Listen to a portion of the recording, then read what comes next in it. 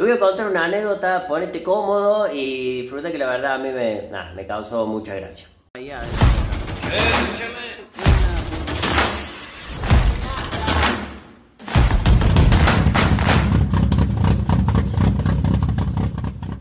Resulta que viene un muchacho, me contacta y me dice, hermano, necesito que me veas el auto. Esto fue hace un montón de meses atrás.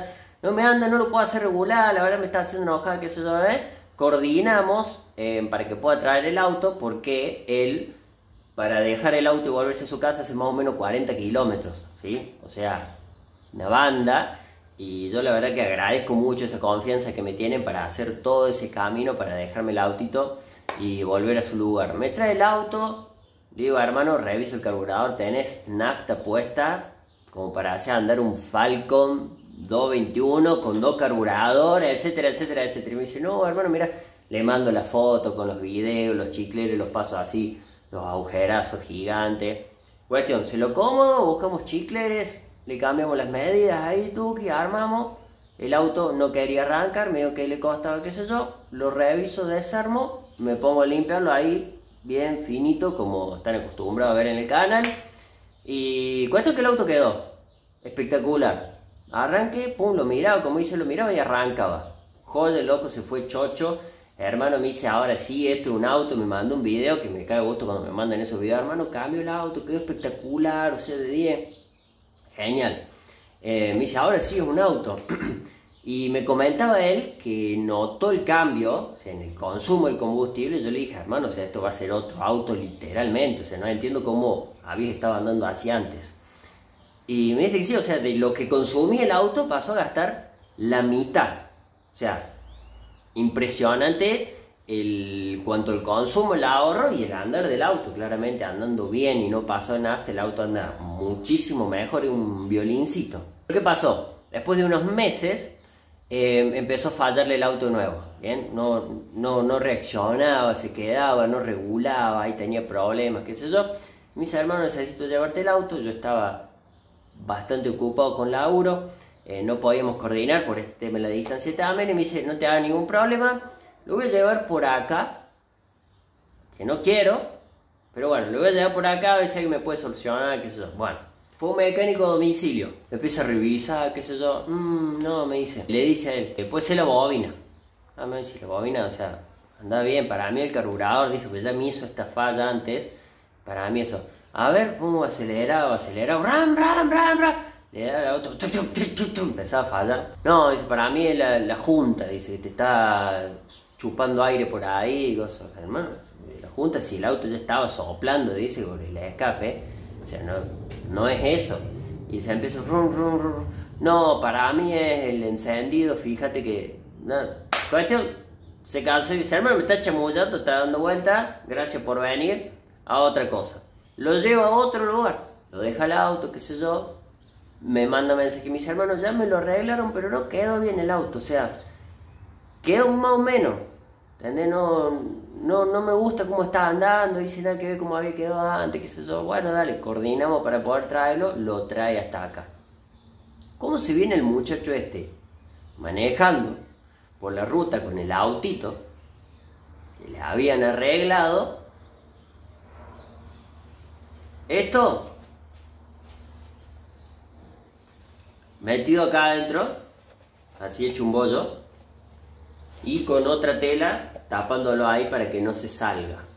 Me dice, hermano, es la única manera que tengo de hacerlo andar al auto. Es la única manera que tengo, dice.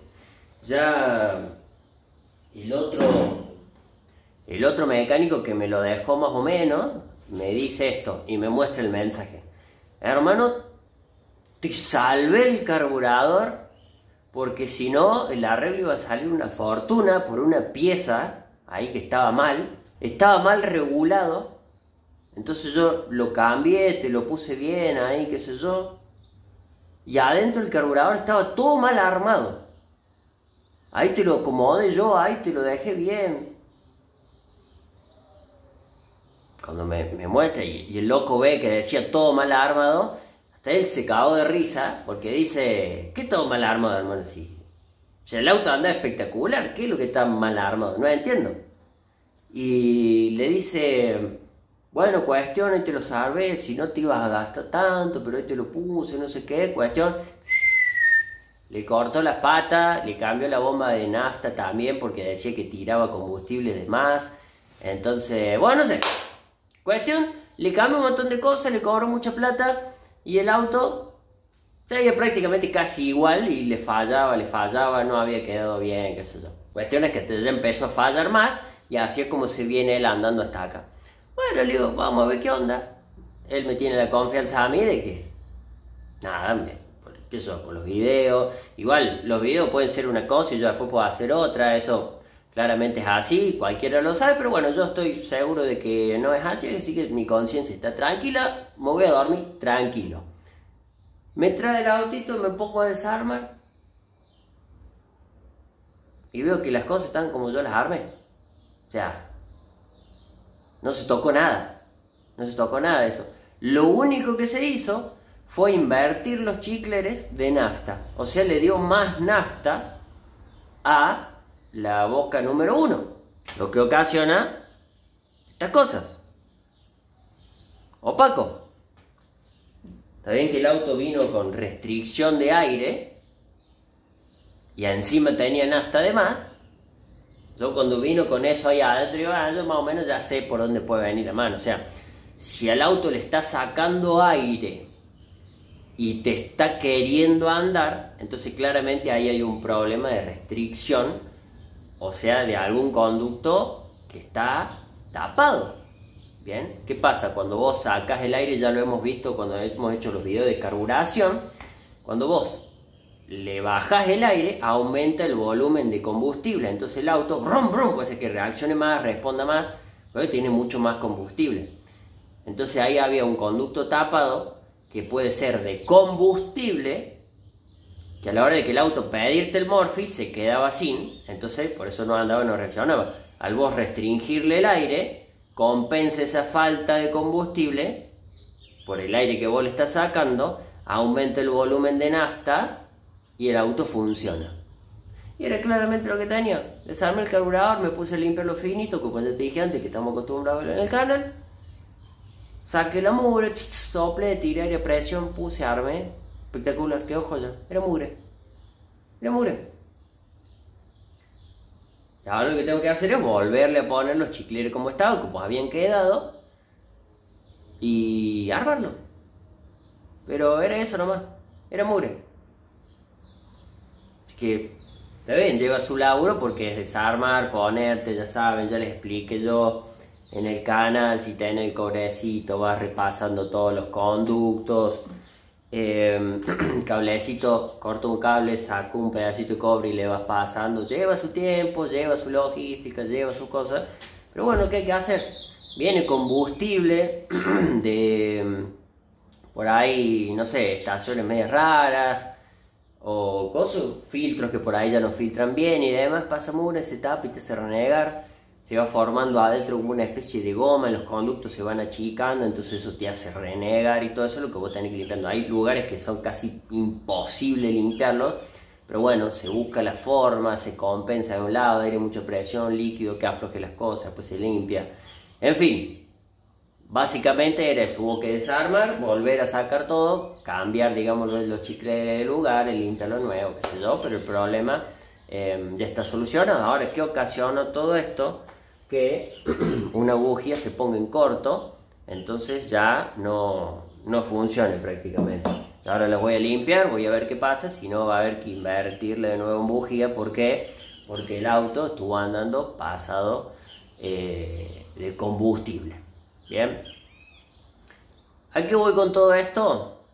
Y si lo pueden hacer, a mí me escribe mucha gente de un montón de lugares que claramente no me pueden traer el auto, que les gusta cómo explico, cómo me doy, los clientes también por ahí se van satisfechos, le mando fotos, che, se cambio esto, mira esto, paso esto, porque a algunos les gusta que les explique y otros me dicen, eh, quiero que ande, chao, listo, anduvo, listo, no, no le interesa y está perfecto.